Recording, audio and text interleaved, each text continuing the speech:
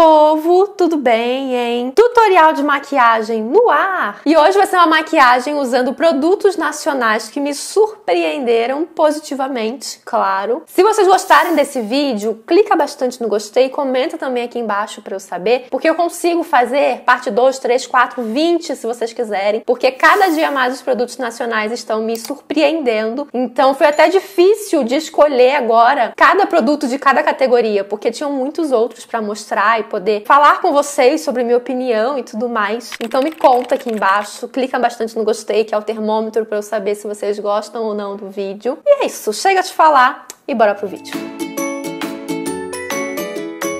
Já estou com a minha skincare prontíssima, então partiu o primer e eu vou usar hoje o primer da Mari Maria, que foi um primer que me surpreendeu demais. Demais é ótimo. Português carioca demais. Já falei com vocês que a primeira pessoa que eu vi falando sobre ele foi a Jéssica May, que assim, primeira pessoa mais próxima que eu conheço, que eu confio inclusive. E quando eu vi ela falando que era muito bom, eu falei, vou comprar para testar. E realmente é tudo isso. Ele é assim, como se fosse um creminho, e ele disfarça muito os poros dilatados. Então eu vou aplicar ele aqui. O ideal é aplicar em pouca quantidade, vocês viram que foi só uma gotinha. E assim, dando essas batidinhas, digamos que para o produto aderir na pele e entrar na pele, digamos assim. Para ele esconder bem aqui os poros. É incrível, gente, como ele disfarça os poros dilatados. Além de dar uma boa matificada na pele. Aqui, então, onde eu apliquei, Aqui ainda não apliquei. Consegue reparar por aqui os meus poros? E aqui já estão bem disfarçados. Vou aplicar aqui também é um primer que eu considero não muito caro. Paguei 39 reais nele. Vem, teoricamente, bastante produto, 25 gramas. Vocês viram que eu uso bem pouquinho. O ideal é realmente usar pouquinho, porque senão pode esfarelar. Então, me surpreendeu muito. Muito, muito, muito. A base, ela tá um pouquinho mais escura pra minha pele, mas eu vou tentar fazer com que ela funcione, porque realmente foi uma base que me surpreendeu. Tinham várias aqui para mostrar, mas a mais, digamos que recente é a base base da Natura Una e é uma base também que eu não lembro se eu já mostrei aqui para vocês, já mostrei no Instagram, aqui no YouTube eu não lembro. Essa aqui é a base Serum Nude Me. Tem FPS 18, diz que tem alta cobertura, leveza e efeito natural. Não acho que tem alta cobertura, já começo falando por aí, porém é incrível como essa base é líquida. Olha isso é uma água. Eu, sei lá. A da Bruna é muito líquida, mas essa daqui eu acho que é mais líquida do que a da Bruna. Essa aqui que eu tenho é na cor castanho 20. Deixa eu chacoalhar bem ela. Isso é uma água, ó.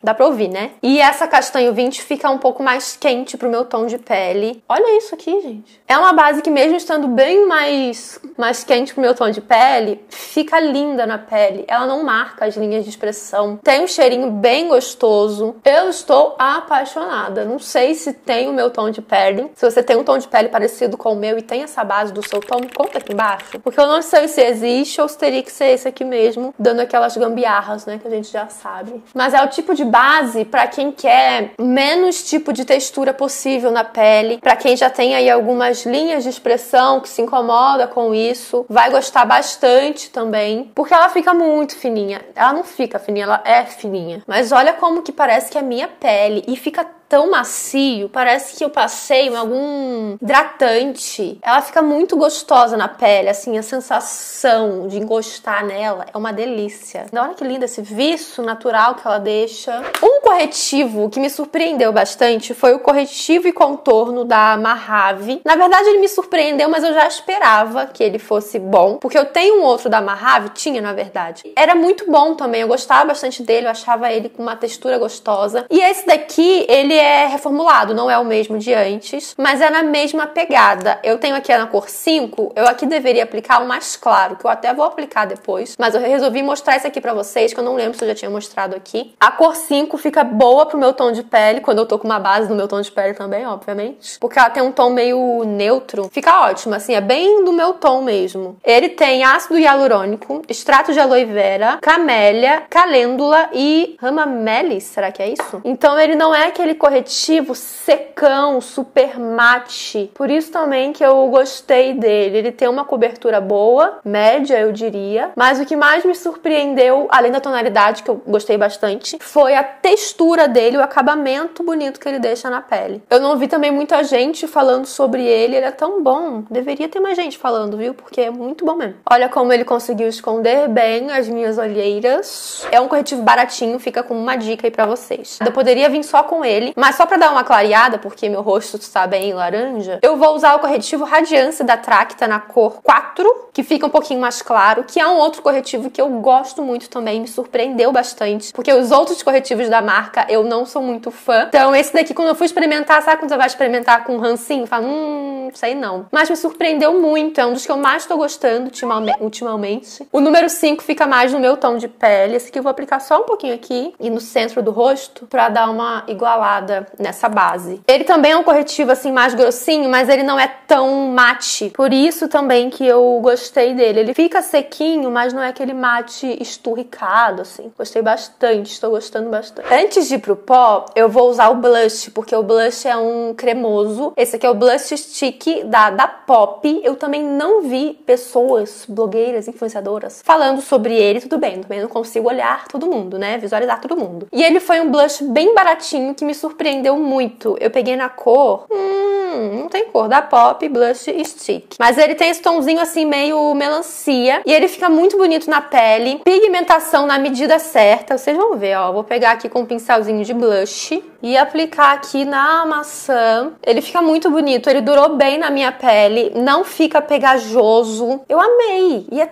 tão baratinho. Não lembro agora quanto é que foi, mas eu lembro que foi baratinho. Eu comprei na 25 de março. Olha que lindo que ele é. Gente, é maravilhoso, eu amei demais. Não lembro se tinha outras cores quando eu comprei, mas já queria saber se tinha um tomzinho de laranja, vocês sabem que eu gosto. Mas esse tom é bem bonito, combinou bem com o meu tom de pele, gostei bastante. E foi mais um que eu confesso que eu comprei assim, com certo preconceito. Eu falei, será, gente? Não deve pigmentar, deve ficar muito molhado, porque eu comprei do Boticário, deu ruim. Embora que muitas de vocês falaram que foi a cor que eu comprei. Embora que quando eu fui comprar só tinha aquela cor, a vendedora me falou que só tinha, só existia aquela cor, então confusa até hoje hoje. Então esse aqui eu fui comprar com um pezinho atrás. Eu comprei com um pezinho atrás, mas amei demais. Ele fica muito bonito, não marca, deixa uma textura bonita. Ai, maravilhoso, real. Já vou aplicar logo, já que estou aqui, o contorno também. Lembra que eu falava com vocês que era muito difícil marcas lançarem contornos? Então sempre que eu ia falar sobre contorno favorito, ou então os contornos que eu mais estava gostando, eu sempre citava isso, que as marcas não lançam tons de bronzer contorno. Então eu nem tinha muitos para ficar mostrando para vocês atualizados. Mas aí veio a Ruby Kisses e lançou um trio, são três tonalidades de contorno. Trop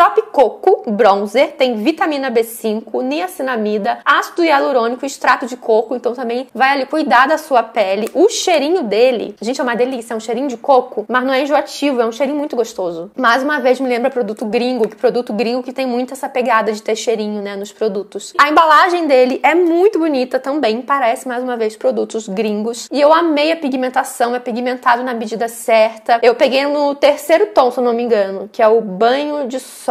E ele fica lindo. Eles são opacos, não é hiper pigmentado, mas você consegue ir construindo camadas. Deixa essa textura bonita na pele, sabe? Nossa, eu gostei muito mesmo. Já vou aplicar também o iluminador antes do pó. E o iluminador que me surpreendeu muito, vocês já sabem, né? O iluminador da Mari Maria. Eu vi algumas influenciadoras falando, mas eu ficava assim, será? Porque tem alguns que o pessoal fala e quando eu vou experimentar não é bem isso que acontece. Então esse daqui eu fui comprar com o pé atrás e agora já quero inclusive a cor mais escura dele. Esse é na cor Luna e ele é daqueles que tem aquele reflexo mais espelhado. Para quem não gosta daquele iluminador que brilha mais que o sol, não vai gostar dele. Mas para mim, que gosto. Menina, ele é maravilhoso. Eu nem pego muito produto, vou pegar aqui no pincelzinho F03 da Sigma e vou aplicar aqui para vocês verem a belezura que ele é. Isso porque minha pele, olha que lindo, meu Deus. Minha pele não está molhada, só tá com a base, né, por baixo, mas eu não umedeci a pele com bruma. Olha que lindo que ele fica. Ele é muito lindo, ele tem um tom bonito. Esse efeito espelhado que ele deixa é muito bonito também. Eu consigo aplicar assim, dando essa esfumadinha, mas também consigo aplicar um por baixo mais sutil e vir com ele pontual para dar aquele ponto de luz mesmo, que fica super bonito também. E é bacana porque ele é fininho, então ele não tem, não deixa muita textura na pele. Isso também gostei bastante dele. Olha que lindo que fica. Ai, eu quero muito outro tom dele. Eu só tenho medo de ser muito escuro pra minha pele. Se você já usou, conhece alguém que tenha usado em algum vídeo, até me conta aqui embaixo, porque eu quero ter noção da cor. Agora sim, vamos para o pó. Qual pó que vocês acham que é? O pó que mais me surpreendeu ultimamente. É o pó da Eudora, né, minha filha? Esse aqui é a cor, cor, cor claro médio. Ele é bem fininho, fica lindo na pele, não marca, não deixa pesado. Eu tô apaixonada nele. Vocês já sabem disso, porque não é de hoje que eu tô apaixonada, mas não teria como trazer outro pó aqui hoje. Estou doida para experimentar outros que eu tô vendo muita gente falando aí na internet. Venho com o pincel MS2 da Saad, que também posso falar que é um pincel que me surpreendeu bastante. Não imaginei mesmo que eu fosse gostar tanto dele para tantas funções. Um produtinho para sobrancelha que me surpreendeu bastante foi a pasta corretiva para sobrancelhas da Mahave. Ela contém óleo de rícino, então o óleo também vai ajudar a crescer, fortalecer os seus fios. O óleo de rícino tem essa esse poder, digamos assim. O que eu gostei dela é que ela não secou. Eu tenho ela há bastante tempo e ela não tá como veio, assim, bem molenguinha, que eu até não gosto quando tá muito molenga, mas ela tá assim, usável. A maioria, na verdade, sem ser essa, as outras, eu tenho que aplicar um diluidor porque eles acabam secando. Eu nem assim reclamava porque era tão normal para mim que eu nem reclamava. Eu falava, ah, é uma coisa do produto mesmo, ok. Mas essa daqui não seca, pelo menos até agora não secou. Eu tenho ela, como eu falei, há bastante tempo. Então é bacana porque é um produto a menos que você tem que ter, né? O diluidor, embora que o diluidor para mim é um produto mil e uma utilidades, mas é um passo a menos também. Você não precisa pegar, aplicar diluidor. Eu, particularmente, tenho preguiça. Quando tem que fazer uma coisa a mais, eu tenho preguiça. Meu sobrenome é preguiça, vocês sabem disso. E isso me surpreendeu muito, porque eu esperava uma coisa que não aconteceu. Esqueci de falar que eu uso ela na cor 2 e fica boa pro meu tom de pele. Já venho com a bruma e uma bruma que me surpreendeu bastante foi aquela que eu falei, nossa, não imaginava que ela fosse assim, que é a bruma efeito lifting da Eudora Glam. O que eu mais gostei nela é o jato dela, é a, literalmente a bruma dela, porque é aquela que a gente nem sente. Primeira vez que eu apliquei, eu lembro que eu fiquei aplicando por meia hora, eu falei, essa porcaria não está saindo. E ela tava saindo sim, mas é o jato dela que é muito suave e isso é super super bacana. Até então eu só tinha experimentado, eu tô tentando lembrar, mas se eu não me engano, sim, eu só tinha experimentado esse tipo de jato em brumas importadas. Então isso me surpreendeu bastante, fora que a bruma em si realmente é muito boa. Não sei se vocês vão conseguir reparar. Olha só, não dá mal dá para reparar o jato dela aqui, ó. Então vou aplicar aqui com isso, a pele não fica extremamente molhada, ela dá aquela umedecida, mas não fica mega molhada. Uma paleta que me surpreendeu muito, na verdade tiveram várias, mas teve uma específica que me surpreendeu demais, principalmente pelas sombras cintilantes, que é a paleta da Nina Secrets para Eudora. As sombras opacas, eu confesso que assim, ah, são boas, muito boas, as cores são bonitas, mas nada de wow, diferente. Mas as sombras cintilantes, meu amor, é uma coisa assim, de outro mundo. É, uma, é linda demais. É bem diferente, não é aquelas sombras cintilantes normais, tanto as cores quanto a textura em si. Então, isso eu confesso que me surpreendeu muito. Olha isso, olha esse brilho. Eu acho que eu vou fazer hoje uma coisa meio mangueira. Vou pegar aqui esses tons de marrom mais claro. Vou aplicar ele aqui no meu côncavo, um pouquinho para cima, né, como eu sempre falo. O pincel, menina, esse pincel é antigo, é o C11 da Macrilan. Como eu falei, ele é antigo, nem sei se existe ainda. Essa sombra é muito bonita, consigo usar somente ela, inclusive. É fácil de esfumar, é pigmentada, mas como eu falei, as sombras opacas, assim, são boas, mas digamos que são normais. Vou pegar agora esse tom de rosa. Nossa, tá limpinho, né, meu espelho? Bem a Deus. Vou pegar com o dedo mesmo pra aplicar aqui no cantinho. Esse tom de rosa, ele é meio furta-cor. Então tem dourado, tem verde, tem rosa. Todas as cores do arco-íris estão aqui. Só que ao mesmo tempo, fica bonito, fica suave, não fica uma coisa globeleza. Vou pegar o tom mais escuro, que é lindo, inclusive. Mas eu vou pegar só um pouquinho pra aplicar aqui no canto externo. Dar uma escurecida aqui. Vou pegar o tom mais clarinho para aplicar só um pouquinho aqui rente à sobrancelha. Vou estragar agora com toda a chiqueza da minha make, porque olha como é que tá uma maquiagem bonita, simples, delicada. Eu particularmente gosto muito desse tipo de maquiagem, mas tem esse produto que eu precisava mostrar para vocês, que a caneta delineadora colorida, diz que é a prova d'água, isso eu não testei ainda, da New Face. Eu tenho aqui nessa cor verde. Eu lembro quando eu comprei, foi a Jessica Make também, se não me engano, que falou que ela era muito parecida com a da Mari Saad. E como eu tenho a verde da Mari Saad, resolvi comprar para experimentar e as duas são bem parecidas, real. Vou colocar aqui na mão, até coloquei que eu tava testando para ver como é que ia ficar a cor. Mas olha só, ela é bem pigmentada, ela é meio metálica também. Aqui então, ó, da Mari Saad. A da Mari, digamos que é um pouquinho mais escura, mas não perde nada. A da, New Face realmente não perde nada. Então eu vou aplicar aqui da New Face pra vocês verem. Até que ficou melhor do que imaginava, menina. Pensei que eu fosse estragar a maquiagem, estraguei só pela metade. Vou aplicar embaixo, nos cílios inferiores, primeiro aquele marrom mais claro e depois o marrom mais escuro, mais concentrado, rente à raiz dos cílios. No cantinho interno, vou pegar o rosa, só um pouquinho, e aplicar aqui para dar um pontinho de luz. Quer dizer, um pouquinho dele é... brilha mais que o sol. Vou usar também o lápis da Ruby Kisses. Esse aqui é o Perfect Precision. Não sei, né, se é assim que se pronuncia. Esse aqui é na cor marrom e ele é a prova d'água. O que eu mais gostei nele, porque ele realmente é a prova d'água, ele sai muito fácil, assim, sai a, a pigmentação dele, né? Entrega super fácil aqui pra mim. E durou muito, muito, muito nos meus olhos. Eu quase esqueci de usar ele agora, inclusive, mas gostaria de mostrar aqui pra vocês, porque realmente eu me surpreendi com ele. Máscaras para cílios. A Fiberluz, até hoje não sei falar direito o nome. Fiberluz, acho que é isso. Da Visela. O que me surpreendeu nela? Ela é uma máscara de volume. Ela diz que tem fibras. E como eu falei no vídeo resenha sobre ela, quando falou em máscara que tem fibras, eu vou deixar aqui para vocês mais uma vez a foto de qual máscara que veio na minha cabeça. E eu quero saber de quem é dessa época que essa máscara bombou. Porque eu lembro que eu gostava dela, mas assim, eu me borrava inteira com ela. Não é que eu me borrava, mas os fiapinhos dela iam caindo durante o dia. Era uma beleza. Aí quando falou fibras, eu falei, meu Deus, vai ser aquilo de novo. O que, que a Visela tá fazendo da vida dela? Mas não, menina. São umas fibras bem fininhas até não entra no olho, tá? Porque ela tá junto aqui com o produto e que não fica caindo. Eu já usei bastante ela e ela não ficou caindo. Passei o dia inteiro com ela, não caiu no meu, na minha pele e deu um volume que, na minha opinião, é um volume na medida. Não é aquele volume pata de aranha, mas é um volume que eu, particularmente, gosto muito. Ela não é difícil de aplicar, também alongou meus cílios, então eu gostei bastante. Olha só, uma camadinha dela, paradinha para vocês verem. E agora eu vou aplicar a segunda camada, que dá um pouquinho mais de volume.